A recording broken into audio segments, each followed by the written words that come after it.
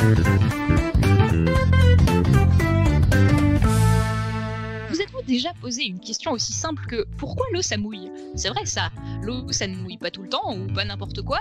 Et si tout était question de matériaux Ce soir, nous invitons Élise Contraire pour nous parler des effets de mouillage sur des surfaces physiques. Et si ce genre de recherche était la porte ouverte au parapluie ou au pare-brise du futur, la réponse sera probablement ce soir. Nous sommes le mercredi 28 avril 2021. Vous écoutez l'épisode 447. Bienvenue sur Podcast Science.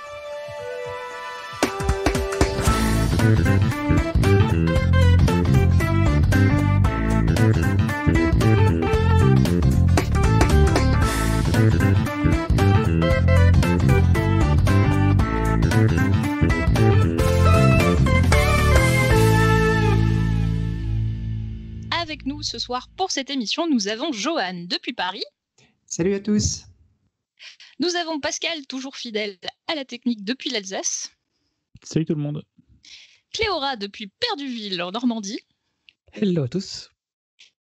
Euh, c'est moi, Eléa, qui aurait l'honneur de faire euh, la maître de cérémonie euh, ce soir depuis l'Alsace aussi, mais malheureusement pas au même endroit que Pascal. Et nous avons avec nous notre invitée, Élise Contraire, depuis Bordeaux. Bonsoir. Voilà, donc sans plus attendre, eh bien, je suis ravie d'accueillir ce soir Élise Contraire. Merci beaucoup d'être avec nous.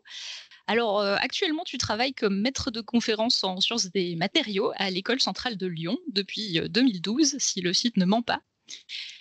C'est bien ça? Oui, tout à fait, exactement. Alors du coup, est-ce que tu peux euh, rapidement nous, expliquer ton parcours pour en arriver là Qu'est-ce que tu as fait comme cursus et comment tu en es venu à étudier et à enseigner ce que tu enseignes aujourd'hui? Oui, alors, euh, donc moi j'ai fait une école d'ingénieur euh, à Compiègne, à l'UTC.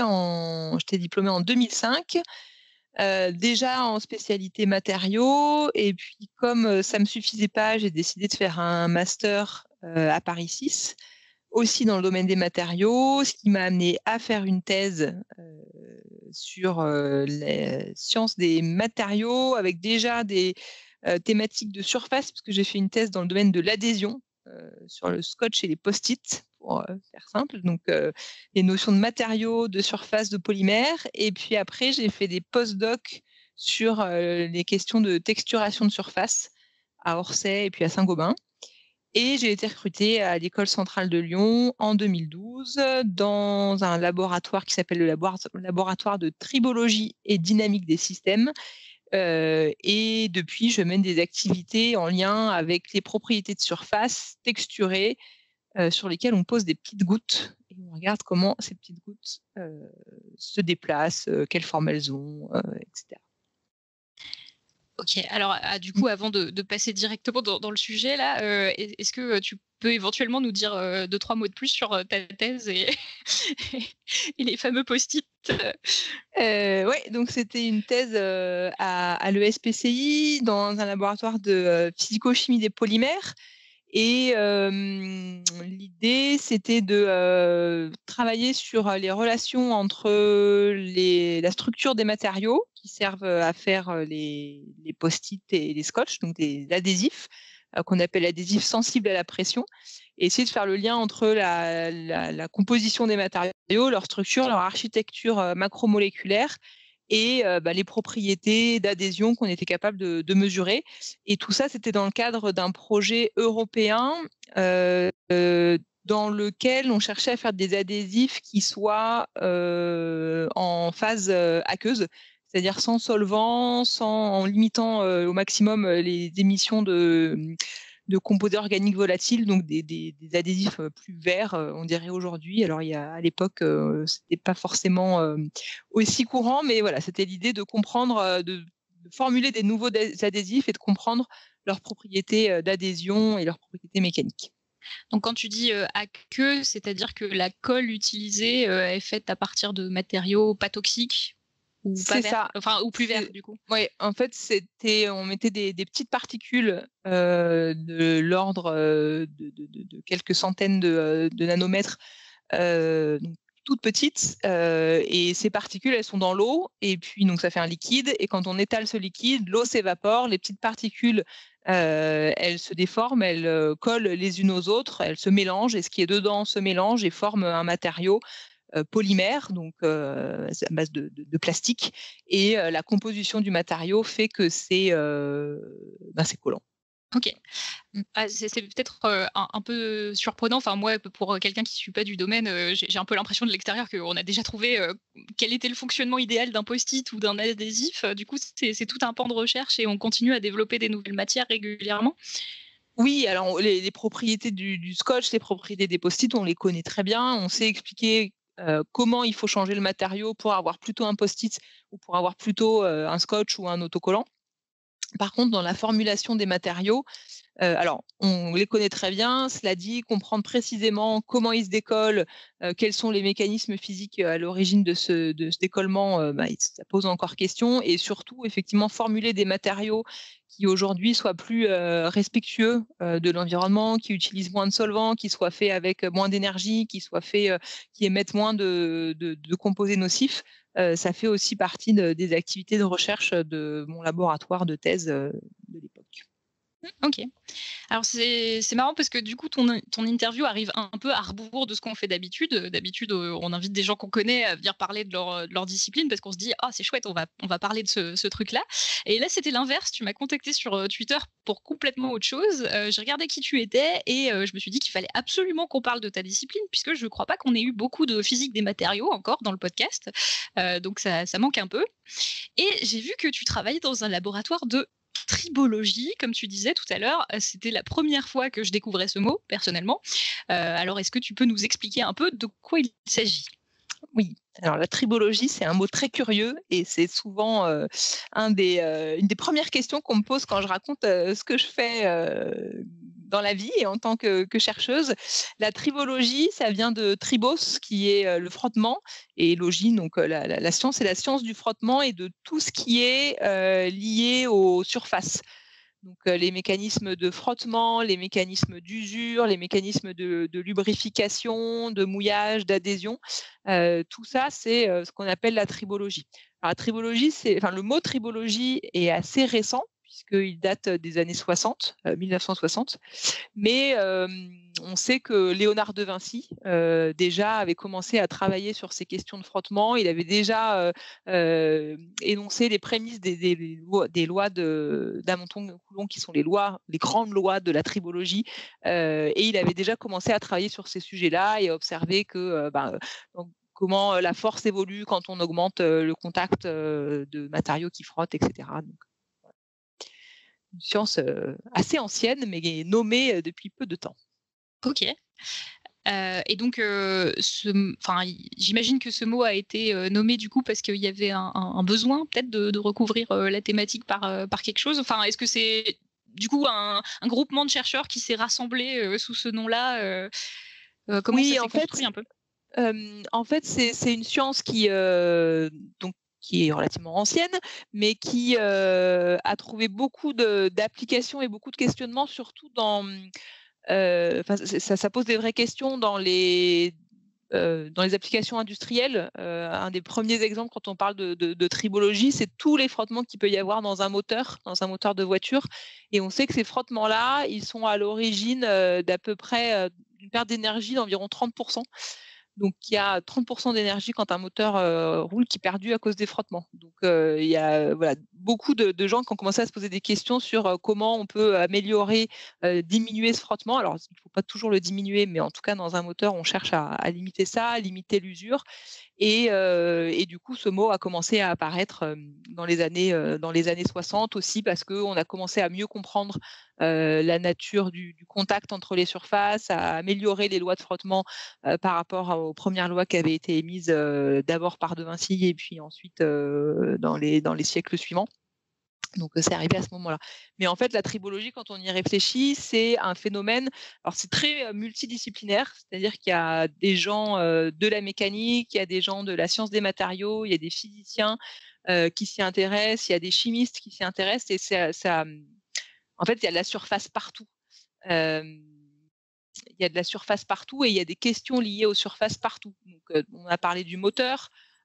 quand on est à vélo, ben, il y a le frottement du pneu sur la chaussée. Il faut qu'il soit présent parce que sinon on glisse et que ben, on se casse la figure. Mais il ne faut pas qu'il soit trop important parce que sinon il faut trop pédaler et que c'est fatigant. quand on freine, ben, il faut qu'il y ait du frottement aussi euh, quand on a des freins à disque, il faut qu'il y ait du frottement pour que la roue puisse s'arrêter. Euh, il y a du frottement quand on joue du violon, il y a du frottement euh, quand on lave ses vitres, il y a du frottement dans tout un tas de, situations. Et c'est quelque chose de très, très multidisciplinaire comme thématique. Donc, du coup, par exemple, quand il y a des pneus neige ou des pneus pluie ou des pneus secs, c'est la tribologie aussi alors? Oui, tout à fait. C'est vraiment des phénomènes de, comprendre les phénomènes d'adhérence et donc aussi liés à, la tribologie et eh bien jouer sur les propriétés viscoélastiques, donc les propriétés de déformation du, pneu, pour avoir un contact qui va permettre ben, de, frotter sans trop frotter et d'éviter qu'on glisse. Ah, j'avais en tête aussi le fartage des skis aussi. C'est vraiment une science à part. Oui, oui, oui. Là aussi, alors dans, dans, dans, dans le fartage des skis, en fait, ce qu'on veut faire, en fait, quand un ski glisse sur la, la, neige, en fait, il glisse pas sur la neige, il glisse sur une couche d'eau qui est cisaillée, et donc le, le, fartage, il vise à ben, favoriser ce, cisaillement, donc le, voilà, la couche d'eau entre la neige et le, et le patin. Bah alors, euh, pardonnez-moi euh, mon, inculture vis-à-vis du, ski, parce que j'en ai jamais fait. Euh, ça consiste en quoi de farter un ski, du coup? En fait, c'est améliorer donc le, ski. Alors, je ne suis pas une spécialiste du ski non plus, hein, mais le ski, il a une couche. on va y mettre une couche de résine pour améliorer en fait l'état de surface du ski en contact avec la neige. Donc c'est l'ajout de résine sur un, ski, c'est ça, pour euh, augmenter les glissements? Oui, alors je ne sais pas si c'est exactement la, quel type de résine on, ajoute, mais en tout mmh cas, on vient euh, travailler la, surface pour euh, limiter les, défauts et favoriser le cisaillement du, ski, enfin de la couche d'eau entre le, ski et la neige. Ok. Joanne, tu voulais rajouter quelque chose, je crois. Oui, je me demandais aussi, est-ce que ça impliquait aussi tout ce qui est frottement avec des objets dans l'atmosphère, que ce soit avion ou fusée par exemple ou Là, on va plutôt être sur des thématiques de, physique d'aérodynamique, de mécanique des fluides. c'est alors les frottements qui sont présents. il y, a effectivement des frottements qui sont présents sur sur un objet en mouvement dans, dans l'air. Après, les conséquences sur la traînée, sur les propriétés des, fluides vont être beaucoup plus importantes que les, les phénomènes liés au frottement. Alors après, mmh oui, on peut chercher par exemple à optimiser le frottement. Il y avait eu un cas notamment, un exemple classique du biomimétisme. Alors c'est pour dans les combinaisons des nageurs. qu'on essaye de faire en, peau de requin pour mmh justement limiter, enfin favoriser le glissement des, nageurs dans, dans l'eau euh, quand tu dis en, peau de requin, c'est euh, inspiré d'une peau de requin Oui, inspiré, inspiré de, la, de la texture euh, des, peaux de requin. Oui, on n'a pas découpé des requins pour mettre des nageurs dedans. Et d'ailleurs, je crois que c'est un cas qui a mené à des annulations de, records ou de médailles, des combinaisons qui étaient trop efficaces, ouais, trop efficaces. Oui, oui. Ok, donc la tribologie, une science qui peut nous rendre des services. Alors, toi, concrètement, euh, quels sont tes projets de recherche dans cette discipline? Alors, j'ai vu que euh, sur le site de Centrale Lyon, euh, les sujets qui sont mentionnés concernent plutôt le mouillage, et notamment le, mouillage dynamique. Alors, j'ai pas trop compris ce terme. Est-ce que tu peux nous expliquer ce qu'on entend un peu par mouillage dynamique et mouillage tout court d'ailleurs? Alors le mouillage, bah, tu, l'as bien expliqué au début dans l'introduction, c'est comment les gouttes de liquide euh, vont se comporter sur un solide ou sur un autre liquide d'ailleurs, euh, non miscible. Donc ça va être euh, en fait le mouillage c'est défini par un système à trois phases. on a de l'air, enfin en tout cas un gaz, on a un liquide en petite quantité et puis on a un solide. Et quand on a ces trois phases-là, eh ben on, va avoir, on va avoir formation de gouttes sur sa vitre quand on en voiture, quand on met de l'huile au fond de la poêle, on va avoir des petites gouttes. Enfin voilà, on a des, tas d'exemples en tête. Et, et, donc le mouillage, c'est ben, caractériser comment ces gouttes se forment. si on les regarde, selon qu'elles s'étalent beaucoup ou pas beaucoup, on va pouvoir définir un angle qui l'angle de la goutte. En fait, la, façon, si elle est très étalée, l'angle entre le solide, le liquide et l'air, il va être relativement petit. et si la goutte, elle n'est pas du tout étalée, qu'elle forme plutôt presque une perle, si elle est presque sphérique, il va y avoir un angle très grand et cet angle-là, c'est ce qu'on appelle l'angle de mouillage, et c'est lui qui va nous définir notamment, il n'y a pas que ça, mais notamment le caractère de la surface. Quand on a des gouttes d'eau, si on a une surface qui est hydrophile, c'est qu'elle aime l'eau, et donc les gouttes ont tendance à s'étaler dessus, voire à former un film. Et quand on a des surfaces hydrophobes, bah, c'est des surfaces qui n'aiment pas l'eau et on va chercher à avoir des, gouttes qui, enfin, du coup, on aura des gouttes qui seront presque en forme de, perles. Et quand c'est super hydrophobe, là, c'est que ça aime absolument pas l'eau et on va avoir des angles, des angles très très grands. Et on peut aussi, il y a un autre paramètre qui va être important, c'est bah, imaginons qu'on a une goutte sur, sur une surface plane avec, disons, une goutte hydrophobe sur une surface hydrophobe, donc avec presque une, goutte hémisphérique, en forme de, presque en forme de sphère. Et une question aussi, c'est comment cette goutte va se déplacer sur, sur la surface et donc avec quel angle, de quel angle il faut que j'incline ma surface pour que la goutte se mette à glisser? Et ça, ça va définir un peu la, force avec laquelle la surface va retenir la goutte. Et c'est aussi ce qu'on appelle l'hystérèse d'angle de contact, la différence des angles quand la goutte se met à glisser, il y a un angle très grand à l'avant et puis un angle très petit à l'arrière, enfin plus petit à l'arrière. Et cette différence d'angle, qu'on appelle l'hystérèse d'angle de contact, elle va aussi nous dire si la surface, si la goutte colle entre guillemets sur la surface ou non.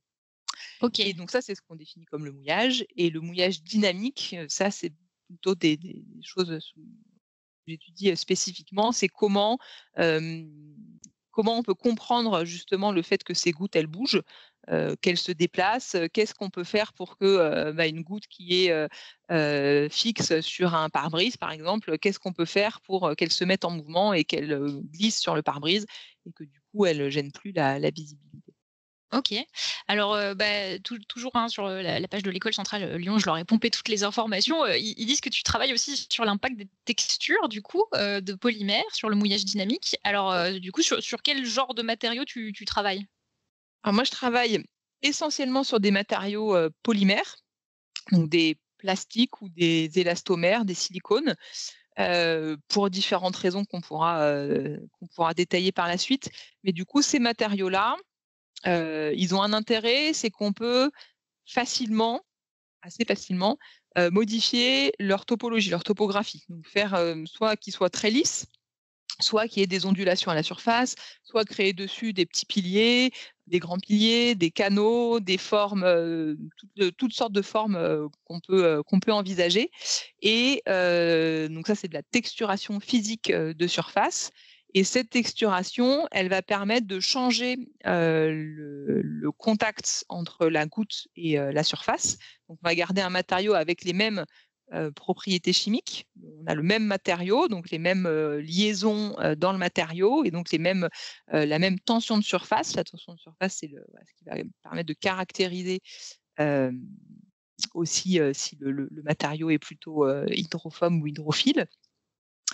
Et donc, on garde la même tension de surface, mais on va pouvoir changer la topographie et donc la texturation et donc la nature du contact. Et on va avoir deux cas, deux cas extrêmes.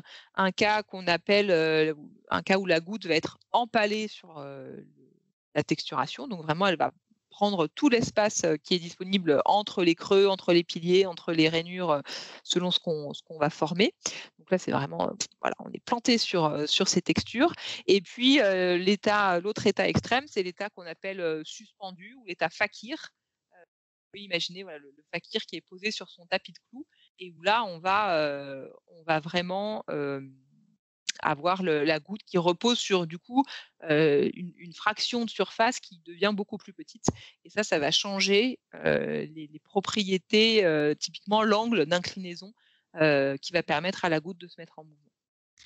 Alors euh, peut-être pour essayer de, faire du, visuel en, audio, euh, c'est-à-dire comment ça fonctionne euh, si on prend l'effet fakir par exemple, c'est plus plus on fait des creux rapprochés et des aiguilles proches les unes des autres et plus on va faire en sorte que la goutte ne, ne s'étale pas, c'est ça? Voilà, exactement. On va venir jouer alors sur les dimensions de, la texture, en fait, bah, le, dessus, on met un, fluide hein, qui a une certaine, tension de surface. Et du coup, bah, il va y avoir des courbures qui vont se créer entre les, les, textures, entre les plots ou entre les canaux.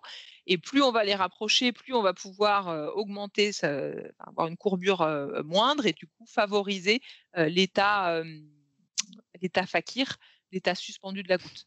Et cet état-là, il est plutôt à favoriser quand on veut avoir une goutte qui va être très hydrophobe, qui va être super hydrophobe et qui ne va pas mouiller la surface. On va pouvoir s'en débarrasser très, très facilement. C'est typiquement le cas de, l'effet lotus. Ok. Ouais, l'effet Lotus, on, va y revenir. Alors, juste peut-être pour que, pour que les auditeurs se rendent compte aussi, alors j'ai trouvé un, schéma qu'on peut partager dans la chatroom, si quelqu'un veut bien le faire, avec, enfin, qui récapitule un peu les différents paramètres qui impactent, j'imagine, le, mouillage. Alors, dedans, on trouve des facteurs comme l'adhérence du matériau, qui va dépendre de sa rugosité, de son état de lubrification, de la température, du degré d'oxydation, de plein de choses. Donc, plein de paramètres physiques comme ça euh, est-ce que tu peux nous dire actuellement euh, sur quels paramètres les physiciens jouent le plus et sur euh, quoi vous, vous jouez dans, ton labo et qu'est-ce qui est le plus efficace finalement si on veut avoir un truc très mouillant ou très pas mouillant? Oui. Alors, le, schéma, il est, il est vrai pour le mouillage, il va aussi être très vrai pour les questions de, tribologie justement et de, et de frottement. Ça, ça résume très bien. Là, on voit sur le schéma ben, un objet qui vient appuyer sur la surface et avec une certaine pression. Alors, quand on a une goutte la pression est, relativement faible. Hein, L'objet n'applique pas une pression très grande, mais si on a un solide, tout de suite, on va avoir des pressions qui vont devenir, qui vont devenir plus importantes. Et là, en fait, sur ce schéma-là, on voit bien le côté très multidisciplinaire de la science des surfaces, parce que pour être honnête, je ne saurais pas répondre précisément à ta question parce que dans mon laboratoire et dans les laboratoires de, tribologie qu'il y a en France et dans le monde, on s'intéresse à tous ces phénomènes-là alors, la, au LTDS, on s'intéresse, donc laboratoire où je travaille, on s'intéresse vraiment à toutes les échelles, à savoir qu'on va regarder à l'échelle macroscopique ben, comment le frottement va venir user la surface ou comment la goutte, quelle forme elle va avoir macroscopiquement. On va venir regarder à l'échelle plutôt mésoscopique, donc un petit peu plus grand que le micron, mais un petit peu plus petit que le millimètre, comment bah, la goutte va venir se déplacer, donc quel, en fait le, déplacement il se fait parce que bah, y a une fissure qui se propage et qui du coup défait le contact entre la goutte et le liquide et la surface, pardon, ou entre les différents les différents solides. Et cette fissure-là bah, permet voilà, que le solide avance et frotte. Donc on va venir regarder ce qui se passe à l'échelle mésoscopique, à l'échelle plus petite, et des texturations, des fissures. Et puis on va venir regarder aussi vraiment à l'échelle microscopique et même en dessous à l'échelle moléculaire, comment la présence de certains composés à la surface va venir modifier, le, modifier le contact, modifier le, mouillage. Et typiquement, si on prend toujours le cas d'un moteur, on va pouvoir regarder ce qui se passe l'usure du moteur. On va pouvoir regarder comment la surface elle va être très localement déformée parce qu'on appuie très fort avec un fluide, un lubrifiant ou une huile dans, son moteur. On appuie très fort, il y a une pression très grande et du coup ça modifie la surface. Et puis on va venir regarder aussi comment les lubrifiants dans lesquels il y a plein de petites molécules qui permettent à l'huile de bah, d'être efficace dans le moteur, comment ces, petites molécules, du fait de la pression très forte et de la température très forte, elles vont être modifiées. Et du coup, on, bah, essaye d'améliorer ces molécules pour qu'elles elles durent plus longtemps et que les huiles de moteur durent plus longtemps et qu'il y ait moins de frottement, etc., etc. Donc c'est vraiment, en fait, la surface, c'est problématique à toutes les échelles. Ok. Et, c'est intéressant du coup parce que du coup quand tu parles de mouillage, enfin nous on pense spontanément à l'eau, mais en fait ça peut concerner n'importe quel fluide ou liquide. Euh, oui. Oui, alors effectivement, souvent on définit les choses avec l'eau. Euh, l'eau parce qu'il y a plein d'applications au quotidien et que c'est des exemples de la vie courante qu'on va retrouver très facilement. l'eau sur le pare-brise, l'eau de pluie sur les verres de lunettes, etc. Mais il y a aussi plein de situations qui se posent quand on est avec de l'huile, par exemple, quand on cuisine ou alors quand on a l'huile dans, son moteur, alors c'est pas la même. Hein, il y a aussi plein de questions qui se posent dans les procédés de fabrication. Par exemple, quand on essaye de peindre avec un, spray, ben, il faut que les gouttes elles viennent se disposer le plus largement possible et puis qu'elles s'étalent tout de suite et qu'on évite d'avoir des coulures. Il y a plein de questions qui se posent sur des fluides un petit peu. alors souvent c'est des fluides avec de, majoritairement de l'eau, mais quand on a des mmh, dans l'agriculture, quand on veut ben, traiter ces, plants ou traiter les champs, on va envoyer des pesticides, alors le moins possible, mais on en envoie quand même, et donc il faut s'assurer qu'ils ciblent bien les, plantes. Donc, donc, non, le mouillage, c'est pas que avec de l'eau, et au contraire, il y a plein d'autres liquides qui peuvent être intéressants à traiter. Ok. Alors, euh, bah, sur ces effets de, mouillage, est-ce qu'il y a des effets de mouillage intéressants dans la nature dont vous vous inspirez directement au laboratoire? Et tu as mentionné tout à l'heure euh, le nénuphar, il me semble. Euh, donc, dans la chat room, je vais partager une vidéo que nous a transmise Élise pour que vous puissiez regarder en même temps. Elles seront dans les notes d'émission. donc, ouais, est-ce que tu as quelques exemples de, d'effets de mouillage intéressants dans la nature? Oui, alors il y a le il y a bien sûr le, cas du lotus et de d'un grand nombre de végétaux, les, donc ces fameuses feuilles de lotus là qu'on voit ou de, de, nénuphar qu'on voit qui sont étalées sur des, grandes marmes ou étendues d'eau. le lotus, bah, quand il y a de l'eau qui lui tombe dessus, il a plutôt intérêt à ce que l'eau elle reste pas dessus parce que sinon ça va rajouter de la masse et puis à un moment donné le lotus va, la, la, feuille elle va couler. Donc c'est la feuille de lotus, c'est elle est très hydrophobe, elle est même super hydrophobe. Euh, moi, je trouve quand on regarde ces, vidéos euh, de sur des feuilles de, gouttes d'eau sur des feuilles de lotus, je trouve ça fait un peu penser au, jeu qu'on avait quand on était petit où il fallait essayer de déplacer une bille euh, et puis ça bougeait tout le temps et il fallait qu'elle suive un parcours et c'était super difficile. Ben, on peut faire la même chose avec une goutte d'eau et une feuille de lotus. C'est vraiment très très très hydrophobe. Et ça, ça vient de deux phénomènes, de la texturation on a dit voilà, la goutte, elle est en état, en état fakir. Et ben, c'est exactement ce qui se passe sur, sur une feuille de lotus. La goutte, elle est vraiment, la feuille, elle est vraiment texturée. Elle est même texturée à multi-échelle. Donc, on a des petits picots qui font quelques microns, euh, voilà, des, petits bumps, là, des, petites aspérités qui font quelques microns. Et sur ces aspérités, il y a des petits fils encore plus petits qui permettent de réduire encore plus euh, l'air de, contact entre la goutte et la feuille. Et puis en plus, euh, bah, il y a une, couche de cire alors, qui a des propriétés de base hydrophobes et qui qui rendent, bah, qui augmentent en fait cet effet de, de, super hydrophobie du lotus. Et ça, en fait, c'est des choses qu'on retrouve dans beaucoup de végétaux, dans les feuilles des épis de blé, on va retrouver ça aussi.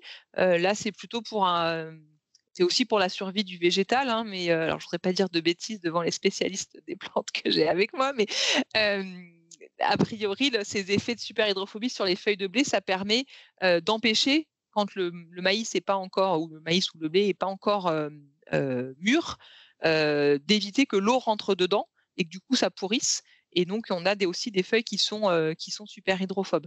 Et à l'inverse, il y a un exemple qui est assez joli aussi, qui sont les feuilles de les pétales de rose, qui sont qui ont aussi ces effets de texturation. Alors, c'est pas tout à fait, c'est aussi multi-échelle et en fait, on va avoir une partie de la texturation qui va être en état fakir et puis une partie de la texturation qui va être empalée. Et ça, ça permet que les gouttes gardent un, angle très grand, donc des surfaces hydrophobes, mais que la goutte, elle reste très fortement accrochée sur la rose, sur le pétale de rose, et du coup, ça va permettre l'hydratation aussi du, pétale. Alors là encore, voilà, moi je vois ça comme comme voilà, spécialiste de la surface, mais j'espère que je dis pas trop de bêtises en termes de, plantes. Et puis on a des exemples après dans les, chez les animaux, chez les insectes ou chez les, chez les reptiles. Les, les, les, insectes, ben, s'ils ont des gouttes d'eau qui viennent sur eux, notamment liées à la condensation, par exemple, à la rosée du matin, ça peut être très embêtant pour eux parce que ça représente vite des poids et des, enfin, des masses assez importantes. Et par exemple, les ailes des cigales, elles vont avoir une texturation de quelques dizaines de microns, hein, des, petits, des petits créneaux, des, petites, des petits piliers de quelques dizaines de microns qui permettent, quand l'humidité condense sur les ailes, que les gouttes ne restent pas, ne restent pas dessus. Et puis, il y avait une photo aussi que je vous avais partagée d'un lézard qui vit dans le désert. Alors, il est pas très joli et il a un nom un peu un peu, un peu, voilà, un nom, latin, quoi. Hein. Il s'appelle, c'est le Phrynosoma, voilà. Il faut que je le relise parce que je me souviens jamais de son nom, mais qui est, bah, lui, il vit dans un milieu très aride et donc il a plutôt intérêt à récupérer la moindre molécule d'eau qu'il va y avoir dans son environnement. Et donc sa peau et texturé aussi. Alors là, c'est plutôt avec des, texturations en forme un peu de, nid d'abeille, hein, avec des alvéoles un peu en forme de nid d'abeille. là encore, sur des dimensions de l'ordre de, quelques, de quelques microns. et ça permet de condenser l'eau, donc d'absorber les, molécules, et l'eau va condenser, former des gouttes sur la surface, sur le sommet de ces petits, de ces petites alvéoles. Et ensuite, c'est encore encore mieux fait que ce qu'on pense, c'est que ben, ça crée des chemins particuliers qui vont guider les gouttes jusqu'à la, bouche du, lézard et du coup comme ça il va pouvoir, il va pouvoir boire la rosée et l'eau qui condense dans son environnement. Donc il y a, plein d'exemples. Des gouttières perso. Il a des gouttières perso. Exactement. Exactement. Et puis, il n'a jamais besoin de les, déboucher, donc c'est encore plus pratique. Mais euh, voilà. Alors après, le, donc on s'inspire un peu de, tous ces exemples-là. Beaucoup des, végétaux, hein, on parlait du lotus. Le lotus, c'est un peu le graal euh, des gens qui font euh, la texturation de surface pour le mouillage. Hein, on n'arrive pas à faire aussi bien que la nature. On s'en rapproche.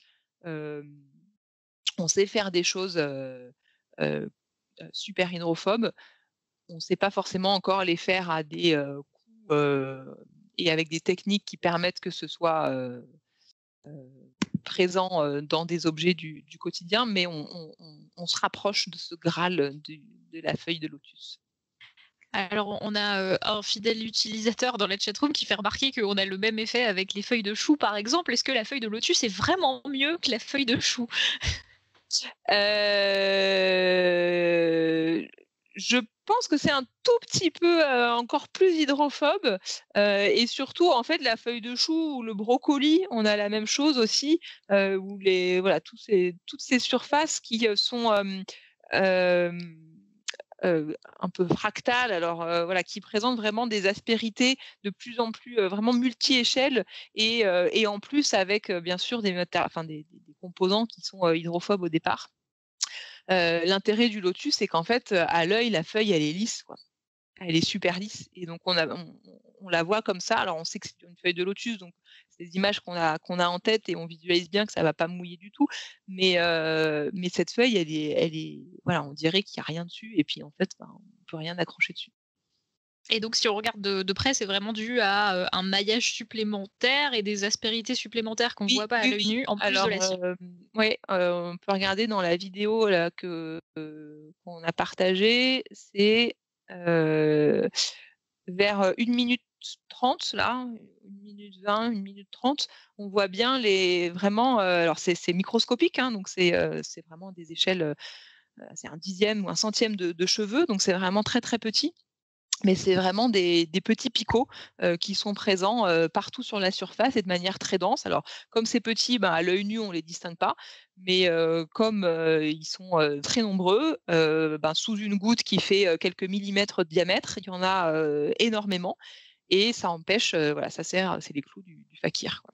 Ok. Donc pour ceux pour ceux qui écoutent en différé, hein, vous aurez le lien de la vidéo dans les notes d'émission. Donc pas de panique si vous voulez voir les effets de, Lotus. Je, profite du coup pour dire bonjour à Irène qui nous a rejoint depuis Bastia. Bonjour. Coucou, salut tout le monde. Et du coup, pas depuis Bastia, parce que tu dis que tu as une bonne excuse pour arriver en retard, c'est que tu t'es trompé dans le décalage horaire, c'est ça? Bah oui, en fait, je suis à Santa Barbara, en Californie. Ah, pardon, j'avais pas suivi. euh, effectivement. Euh, Je suis désolée. Le, le podcast est multinational. euh, on a Alexa qui est à Los Angeles aussi, euh, de temps en temps. Donc, euh, voilà. Des gens de partout. Bon, je vous laisse parler. Euh, pas de problème, ben, euh, bienvenue parmi nous. Euh, donc on en était où Ah oui, donc on, a vu des exemples de de- d'effets de, mouillage dans la nature. Est-ce que tu as des exemples de la vie quotidienne à nous donner, de surface ou de matériaux que tout le monde utilise un peu sans se rendre compte et qui viennent directement du travail d'équipe qui travaille sur la tribologie? Oui, alors on a, on- je reviens encore dessus, mais on a parlé, on a parlé du cas du, moteur. Voilà, dans un moteur, il y a énormément de, sujets liés à la tribologie, mais il y a aussi beaucoup de, euh, dans, les exemples qu'on peut citer. alors là, on, travaille dessus, pas forcément pour l'améliorer, mais en tout cas pour le comprendre, sur tout ce qui est le bruit lié au frottement. On a parlé des voilà quand on fait ses vitres, ça fait du bruit. Si on fait ça avec un chiffon à l'ancienne, et ben ça, ça vient de ça vient du frottement, du frottement à la surface. Les essuie-glaces qui font du bruit quand on essuie son pare-brise, c'est aussi lié à des problématiques de frottement. Et le violon, enfin le violon qui, fait, émet un son, on on va pas appeler ça du bruit, c'est aussi lié au frottement euh, de, de l'archet sur la corde. Donc tout ça, c'est des exemples de, de- la tribologie euh, au quotidien. Le doigt euh, qu'on passe euh, sur, euh, le verre euh, et qui fait du bruit, c'est aussi ça. Et après, sur les aspects euh, de euh, plus de mouillage, euh, bah, il y a des, exemples quotidiens euh, en permanence. On parlait euh, euh, de du mouillage et, de la peinture, bah là on veut exactement le contraire du lotus, c'est-à-dire qu'on veut que les gouttes qui se forment, ben, elles s'étalent complètement. On a ça aussi, voilà, quand quand on dépose une couche d'huile dans, sa poêle, on a des problématiques de mouillage aussi dans les cosmétiques. Il y en a énormément. faire en sorte que ben, les, liquides, pour le coup, soient plutôt mouillent plutôt les, surfaces. hein, quand on met quand on met du vernis à ongles ou quand on met un- une crème sur soi, on a plutôt envie que voilà, ça ait envie de s'étaler dessus. Donc il y a plein de plein d'exemples au quotidien. Et sur les thématiques sur lesquelles moi je travaille en particulier, je disais tout à l'heure qu'on étudiait, que j'étudiais beaucoup les polymères. Euh, les polymères pour deux raisons. D'abord parce que c'est euh, assez facile à mettre en œuvre et en plus parce que euh, c'est des matériaux qui peuvent être transparents et donc qui vont avoir beaucoup d'applications dans l'optique. Les verres de lunettes, bah, ils sont souvent en verre, c'est souvent des verres minéraux ou des verres, euh, euh, des verres organiques, c'est du- ça veut dire que c'est du polycarbonate, donc c'est des polymères. Euh, et on, sait les mettre en œuvre facilement pour avoir des petites texturations dessus. Par exemple, on avait travaillé à une époque avec un constructeur automobile qui avait des problèmes de condensation dans les phares avant des voitures. Et dans les phares arrière aussi d'ailleurs, mais on travaillait surtout sur le- les phares avant parce que c'est pas le même matériau sur les phares avant et les phares arrière, mais bref. Et, en fait, comme dans les voitures, les, lampes des phares maintenant sont des, c'est des lampes LED, donc qui chauffent beaucoup moins, il y a beaucoup moins d'effet Joule, et du coup la température dans les phares diminue, et du coup il y a beaucoup plus de phénomènes de condensation. Donc on avait travaillé avec un doctorant qui a soutenu il y a quelques années sur comment changer les propriétés de surface des matériaux des phares, en l'occurrence du polycarbonate, pour éviter la condensation qui se forme et qui, alors ça n'a pas forcément de gêne sur les propriétés optiques, mais par contre, ça a une gêne sur déjà l'usure et le, voilà, la durée de vie du phare, et puis sur euh, des effets aussi euh, esthétique et, d'aspect pour, pour l'utilisateur de la voiture. Donc, on avait essayé de travailler à ça. En fait, il y a une, un, gros souci qui se pose à l'heure actuelle pour les chercheurs, c'est un problème de dimension des textures qu'on est capable de faire. Mmh. Si on veut que ça reste transparent, il y a deux possibilités. Soit on fait des textures très grosses, qui sont suffisamment espacées pour que finalement on ne les voit pas. Mais ça, ça marche pas très bien parce que comme les gouttes, elles sont petites et qu'il faut qu'il y ait beaucoup de texture dessous, euh, ben, ça marche pas très bien. Soit on fait des textures très petites comme sur le lotus. Mais en fait, sur le lotus, tout à l'heure, je disais que les picots, c'est comme sur le lézard, ils font quelques microns, voire quelques dizaines de microns. Et si on remplit un phare avec ça, ou si on remplit un pare-brise, ou si on remplit un verre de lunettes de petite texturation de l'ordre du micromètre ou de la dizaine de micromètres, le problème c'est qu'on voit plus rien parce que ça va diffracter, que la lumière va plus passer à travers. Et donc un verre de lunettes qui est plus transparent, c'est un peu problématique. Et arriver à réduire, euh, on pourrait réduire en dimension, mais pour l'instant, euh, on ne sait pas faire euh, facilement et à des coûts intéressants pour, pour l'industrie. On ne sait pas faire des texturations toutes petites qui pourraient, qui pourraient s'appliquer. Alors, on peut le faire pour d'autres matériaux. on peut regarder, par exemple, sur. on parlait des skis tout à l'heure. Je crois qu'il y a eu des travaux qui ont été faits à Polytechnique, notamment dans le cadre des, euh, avec, des skieurs professionnels pour essayer de, d'améliorer euh, justement le, fartage et de, d'associer euh, la texturation pour augmenter le glissement du, ski. Mais sur les aspects optiques, pour l'instant, on est limité par ça. Alors après, il peut y avoir plein d'autres applications qui soient pas pour lesquelles on va vouloir texturer pour contrôler les gouttes d'eau et où les propriétés optiques sont sont pas capitales ou en tout cas la transparence n'est pas pas capitale. Par exemple, il y a des gens qui essayent de faire ça pour favoriser l'auto-nettoyage des panneaux solaires. si on fait des, petites couches de texturation sur des panneaux solaires qui vont être, qui vont être inclinés, bah, on pourrait avoir des gouttes qui roulent sur le panneau solaire et qui emmènent avec elles les poussières. Et du coup, bah, ça nettoie le panneau solaire tout seul. Et ça, alors quand on a un panneau solaire sur son toit, c'est pas forcément, un peu compliqué, mais c'est pas si compliqué que ça de le nettoyer. Mais quand on a des fermes de panneaux solaires immenses et que il faut aller les nettoyer tous à la main ou avec des robots, eh ben, on peut imaginer l'intérêt d'avoir quelque chose qui se nettoie tout seul. Ouais, tout à fait. Alors du coup, sur les lunettes, puisque ça concerne quand même beaucoup de gens, tu disais que c'était difficile de changer la surface pour que ce soit complètement hydrophobe et garder la transparence. C'est le mmh. cas pour les lunettes aussi, j'imagine. Du coup, qu'est-ce qu'on utilise comme méthode pour, pour des antibuées de lunettes? Oui, alors c'est ce qu'on fait pour les lunettes et ce qu'on fait aussi beaucoup pour les pare-brises. on fait ça avec de la chimie.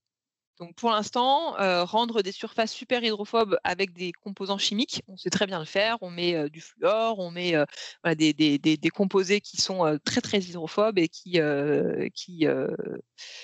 n'aiment pas du tout l'eau. Et ça, on, le fait, on le fait sans problème. On peut, on a des, on peut acheter dans le commerce des sprays anti-buée pour son pare-brise, pour la visière de son casque de, moto, pour les, les, masques de, plongée ça, on, sait le faire chimiquement. si on savait le faire en termes de topographie, bah, ça serait encore plus intéressant parce que du coup, c'est plus durable et puis c'est un peu meilleur aussi pour, pour l'environnement. Bah, alors, il y, a eu une remarque dans la chatroom de un fidèle utilisateur qui nous dit dans la barquette de plats préparés, les sauces n'adhèrent pas du tout. Il paraît qu'ils ajoutent des nanoparticules dans le plastique et que c'est pas bon pour les tortues qui mangent le plastique. alors, est-ce que est-ce que c'est vrai qu'on utilise ce genre de procédé du coup d'imperméabilisation chimique dans les plastiques alimentaires? Qu'est-ce qu'on utilise comme genre de, de molécules et est-ce que c'est nocif pour l'environnement du coup? Ouais, alors je ne connais pas exactement ce qu'il y a dans les barquettes, dans les barquettes alimentaires, mais c'est vrai que c'est des systèmes qui sont extrêmement multicouches. et au passage, c'est pour ça qu'on ne les met pas dans les poubelles de recyclage, en tout cas, enfin, dans la plupart des villes, en tout cas, on ne les met pas au recyclage parce que c'est plein, plein de couches différentes. Il y a des couches qui vont permettre la tenue mécanique de la barquette, et puis il y a des couches qui vont permettre ben, de, de, protéger l'aliment et et d'empêcher voilà, que, ça adhère et puis que les aliments se détériorent et qu'il y ait de l'eau qui rentre dedans, etc. etc. Alors après, je ne sais pas exactement en quoi c'est fait, mais oui, clairement, ce problème, le, fait que ce soit des, multicouches, ça rend le recyclage de ces objets-là assez compliqué et, et, probablement que ce qu'il y a dedans pour que ça soit complètement enfin que les liquides n'adhèrent pas du tout comme ça, c'est pas forcément très très très très sain. Alors ça me permet de, du coup, je, rebondis sur un autre exemple de quelque chose sur, d'une application qui allie mouillage et texturation, qui a été développée. c'est très récent. les premiers articles sur ces phénomènes-là datent de 2008 ou 2010, donc c'est des choses qui sont à l'échelle de la recherche assez récentes. et on parle de surfaces qu'on appelle des surfaces infusées. Alors, qu'est-ce que c'est qu'une surface infusée? Ben, c'est, venu. Alors, il faudrait que je retrouve le, le nom. J'ai pas pensé à chercher ça avant, mais si je, le trouve, je, vous mettrai le lien. le principe, l'idée est venue justement avec les bouteilles de ketchup. Les bouteilles de ketchup. Alors, on le voit bien avec le ketchup parce que c'est transparent. à la fin, il reste toujours du ketchup. Il y a toujours une couche de ketchup qui reste sur le l'emballage. Et c'est très, très frustrant d'ailleurs. C'est très frustrant et on n'arrive pas à le récupérer à moins d'aller couper son pot de ketchup. Enfin bon, bref. Et donc il y a des gens qui ont développé des surfaces, qui aujourd'hui il y a des applications vraiment sur les, pots de ketchup, qui sont des surfaces infusées. Donc le principe, ce qu'on sait, c'est que ben, l'eau sur de l'huile, ça glisse très bien c'est très voilà l'eau et l'huile étant pas miscibles, ben c'est très hydrophobe et l'eau c'est l'huile c'est très hydrophobe et l'eau c'est très oléophobe. Enfin bref ça ça glisse très bien.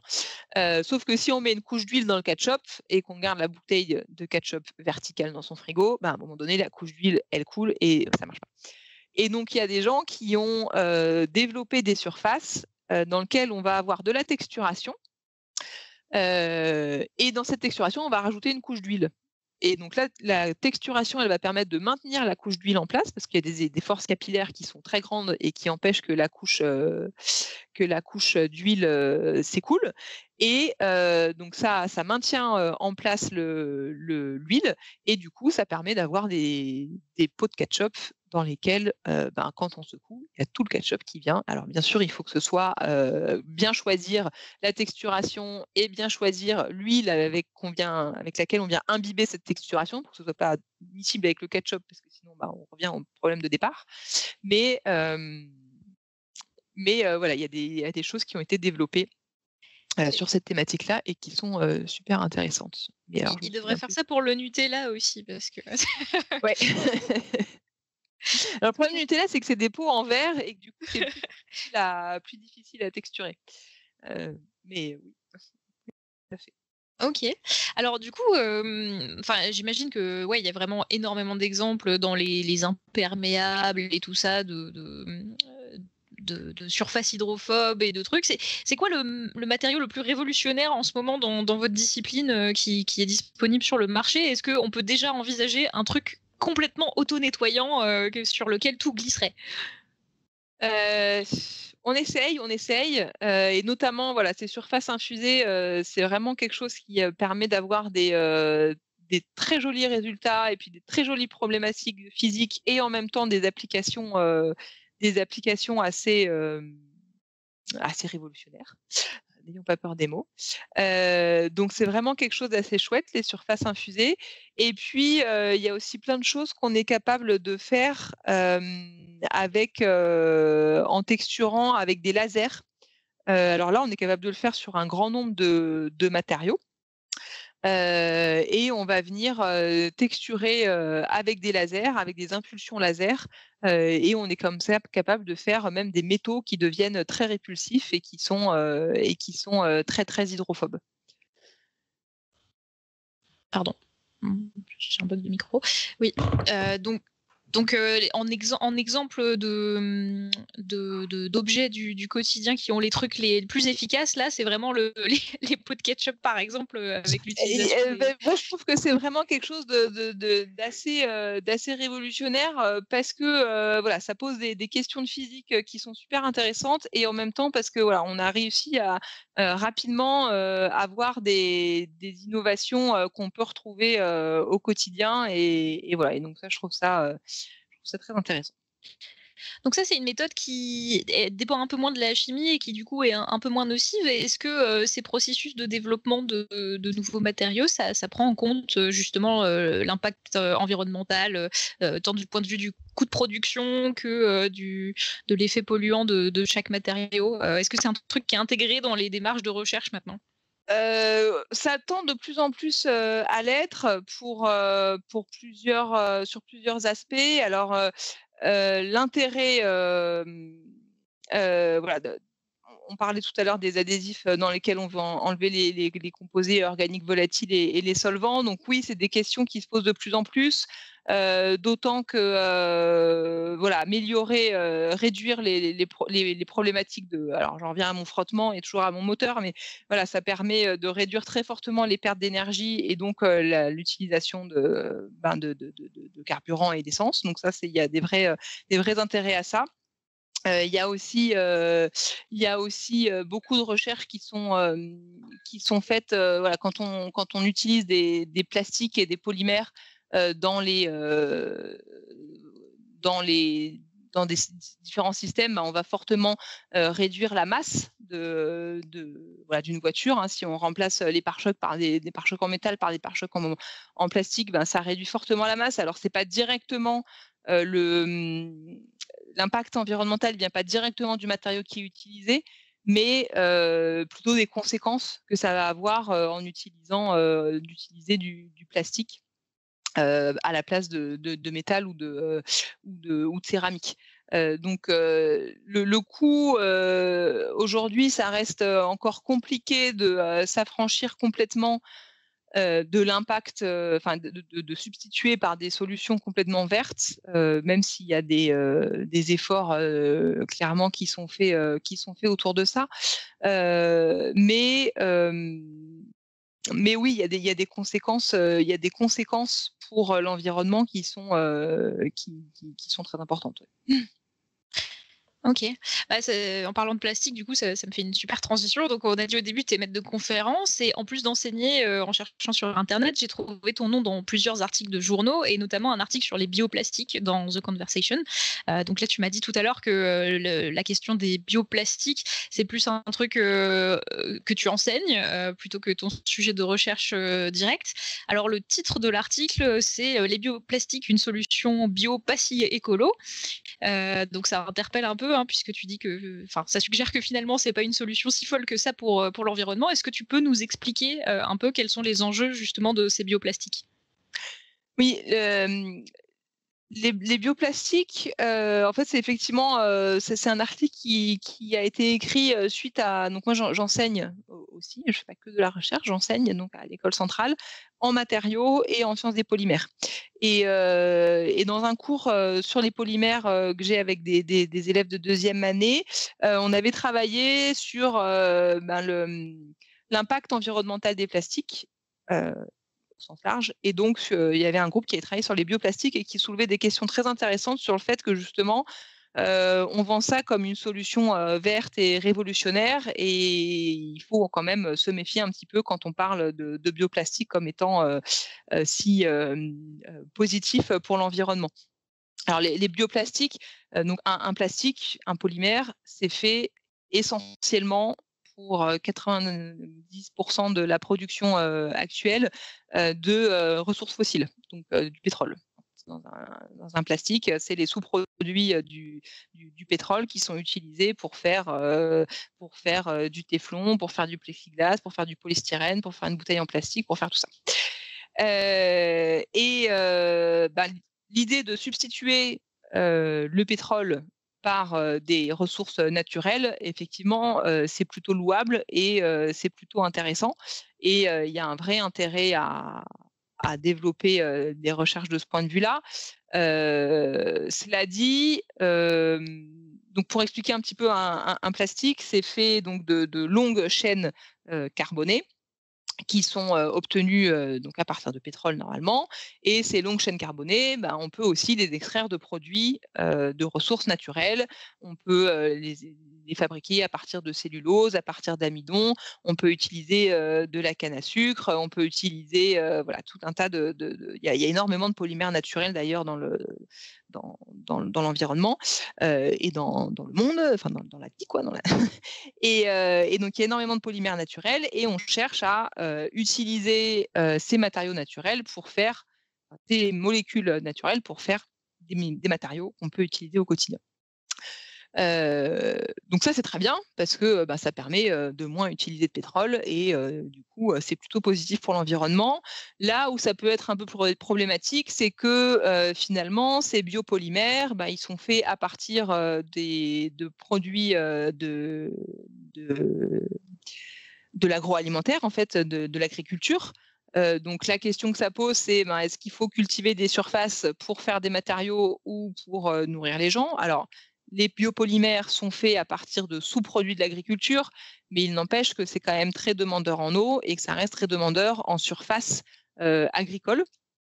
Et l'autre problématique, c'est que souvent on, se dit que parce que c'est bio, c'est biopolymère, c'est forcément biodégradable et que du coup on est un peu dans une boucle d'économie circulaire positive. En réalité, c'est des matériaux qui sont assez difficilement Enfin, c'est pas parce que c'est des biopolymères qui sont biodégradables. Il y a des polymères qui sont pas des biopolymères, enfin pas issus de ressources naturelles et qui sont biodégradables. Et à l'inverse, il y a des biopolymères qui sont très difficiles à dégrader. Si euh, vous avez déjà essayé de mettre les sacs, euh, les sacs à légumes là qu'on a au supermarché, qu'on nous vend comme compostables, bah, si on essaie de les mettre dans son composteur, et ben au bout de quelques mois, on va se retrouver avec un truc plein de filaments. Enfin, ça sera un peu décomposé, mais ça sera quand même toujours bien là et on ne sera pas forcément revenu à des éléments très complètement neutres pour l'environnement.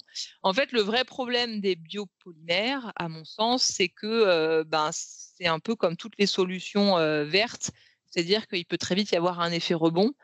C'est-à-dire, ah ben mon polymère il est bio, alors je peux continuer à en utiliser plein, voire je peux continuer à en produire encore plus.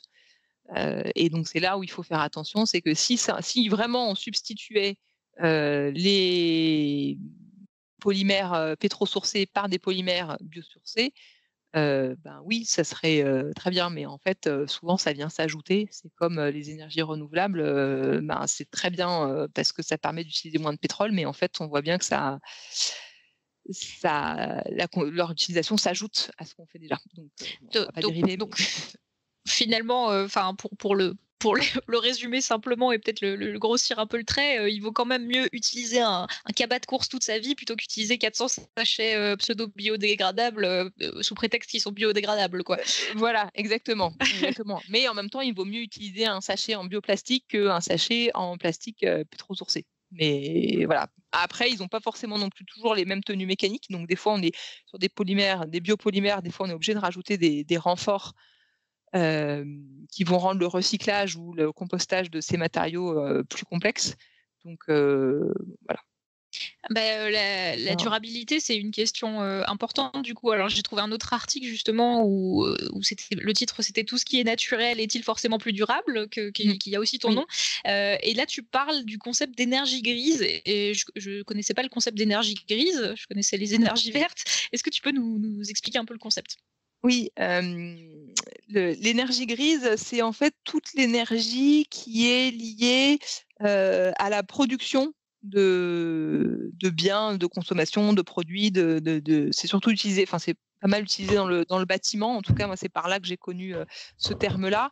quand on construit un mur, parce que enfin, voilà, il y, a des questions auxquelles je, je m'intéresse, mais quand on produit quelque chose, ben, il faut faire venir de la matière, il faut extraire de la matière première, il faut la transformer, il faut la faire venir.